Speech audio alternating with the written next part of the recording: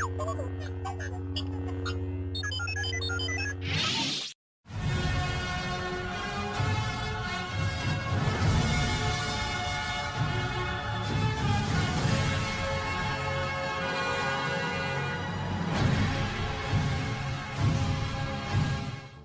back to the channel guys. Today I want to talk a little bit about Swipe and um, we have been discussing this on the channel over the past week or so but I feel it's fit to give you an update on this.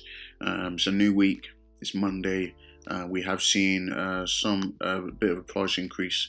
Um, we did get the breakout that I spoke about the other day. And uh, I just want to let you know what I'm thinking now about this. I also want to give you a little quick run through of this project because I haven't done that on the channel yet. And I feel you know maybe yeah this is this is the time to do it.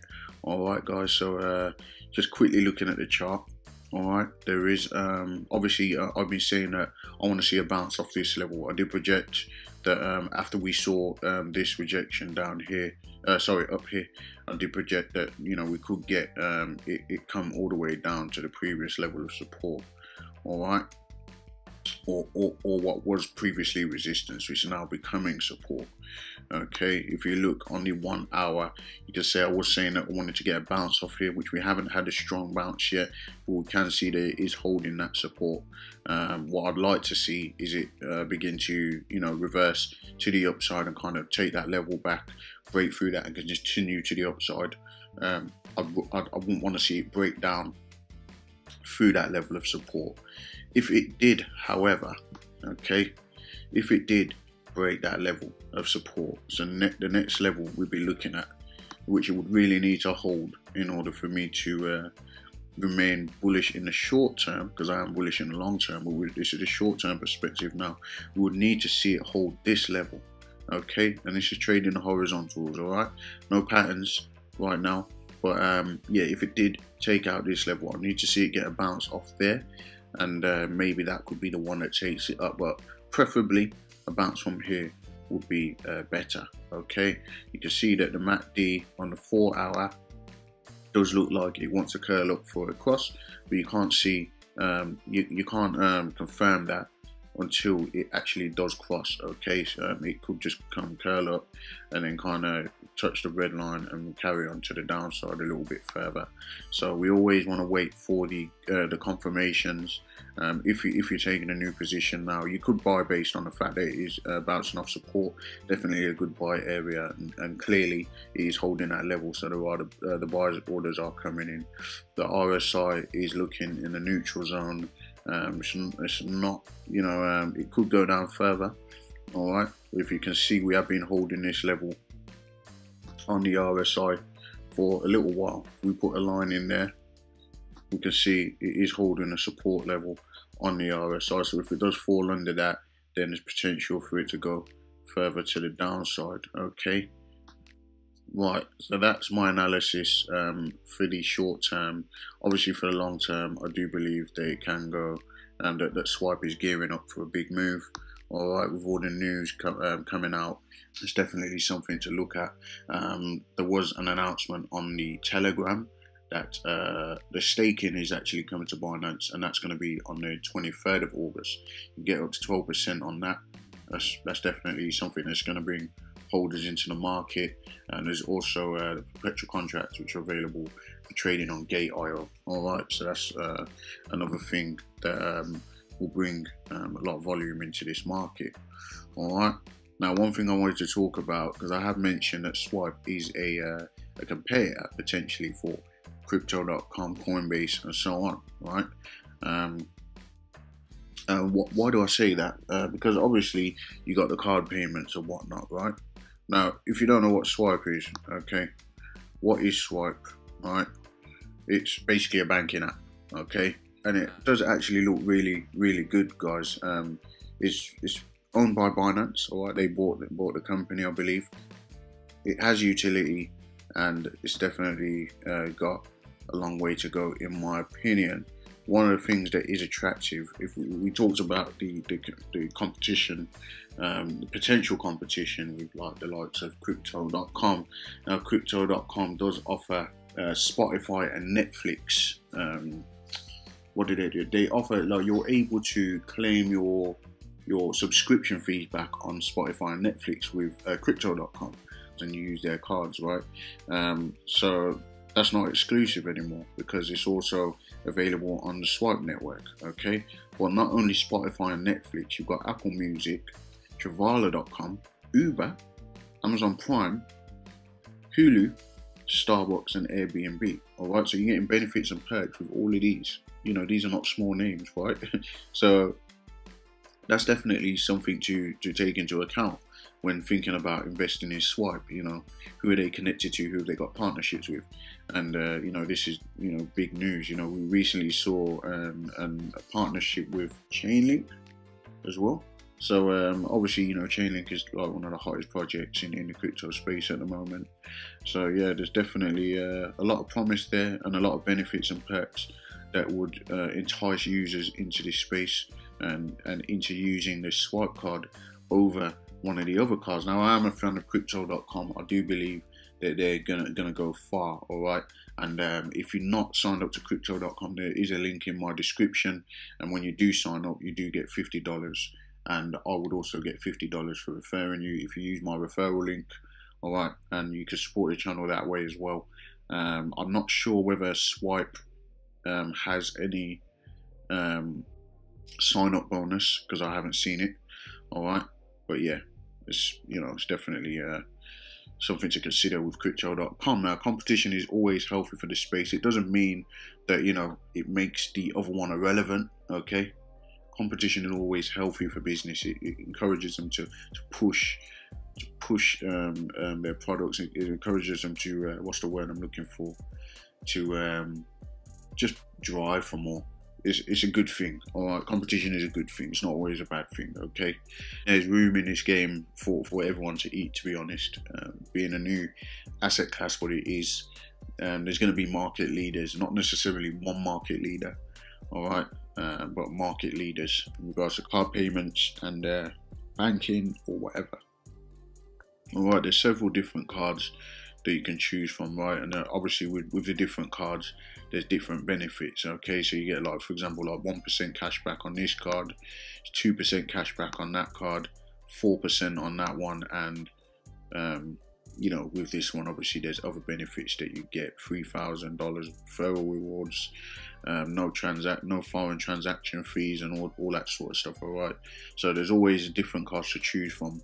Uh, I think it depends how much you stake and how much you uh, how much you use in the card. I guess you know when applying for the card which i haven't i haven't ordered a swipe card i do have a crypto.com card so i'm happy with that at the moment um, you know when it comes to the perks and benefits like i don't use Airbnb, I don't use Uber, I don't use Spotify, I don't use well, I do use Netflix, but I don't use you know a lot a lot of these things I don't use anyway. I'm, I'm not really one of those guys that you know um, gets drawn in for those kind of things. So yeah, I mean it will attract um, you know a lot of people. I'm not one of them, but um, obviously the thing that attracts me with Swipe is you know uh, yes the utility yes, the partnerships, yes, the uh, the, the, fundamentals, um, the chart, of course. You know, the chart attracts me. You know, to me, this looks like it's ready for a big pump to the upside. But like I say, guys, I could be wrong, all right? But I see all this volume coming in,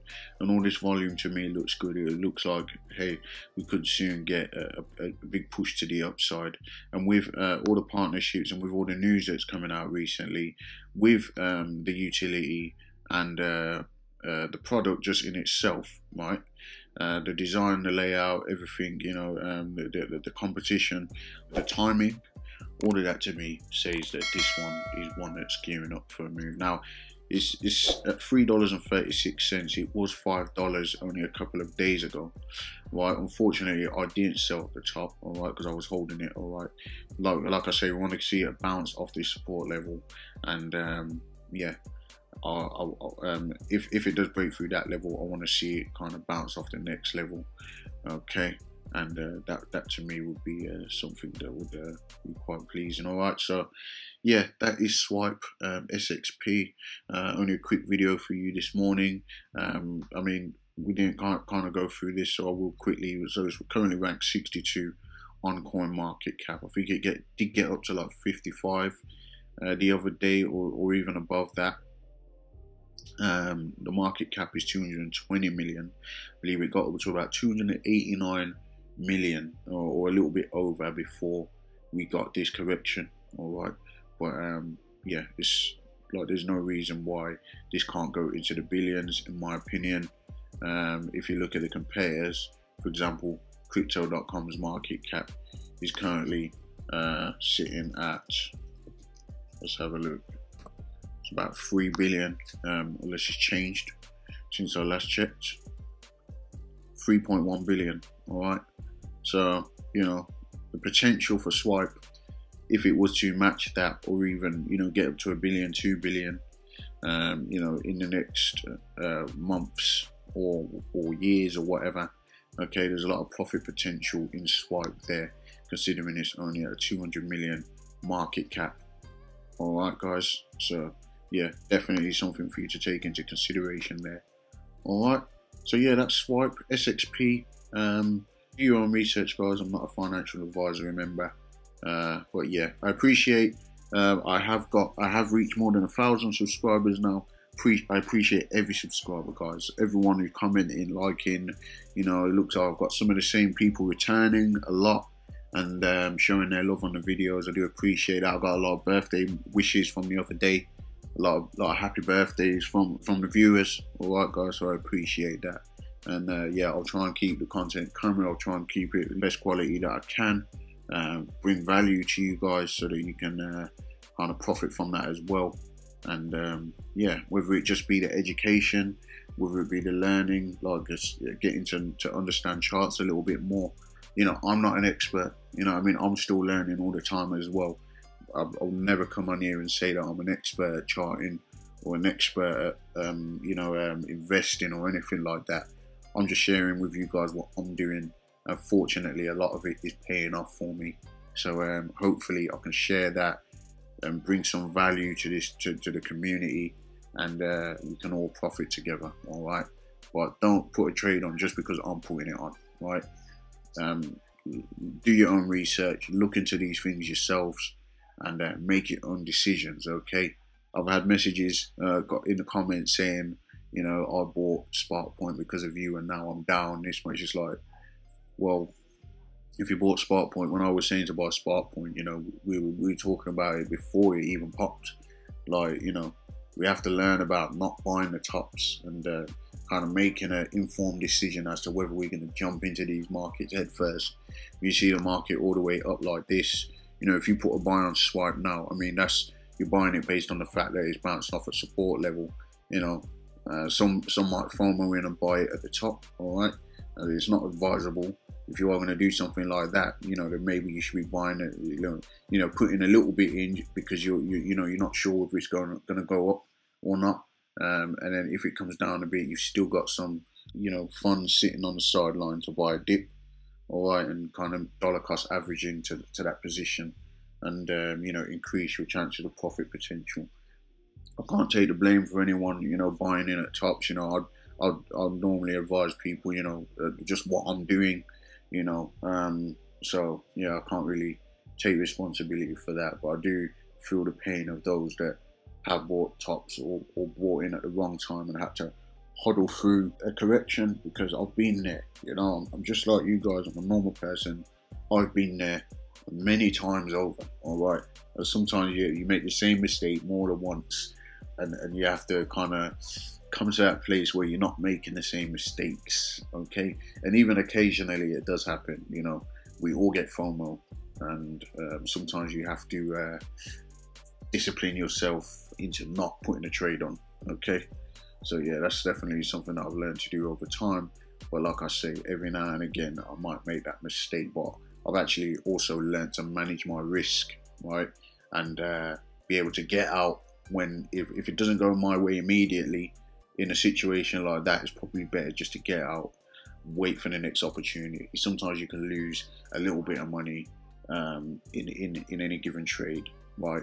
If you, you get out and cut your losses quickly, you can then find a better position potentially and uh, you know make that back in a very short space of time as well. Hopefully you can take something from that what I've said. Um, if you haven't subscribed to the channel, do me a favor and do that. Leave a like and leave a comment down below, and I'll see you again in the next video.